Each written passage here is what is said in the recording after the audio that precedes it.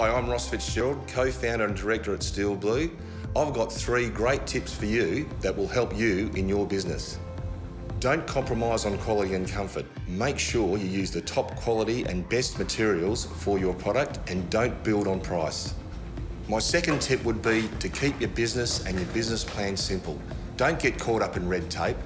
Don't get caught up in long processes and make sure you get the job done.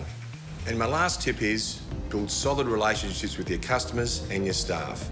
Nurture those relationships, which will mean you'll build a great foundation for your business.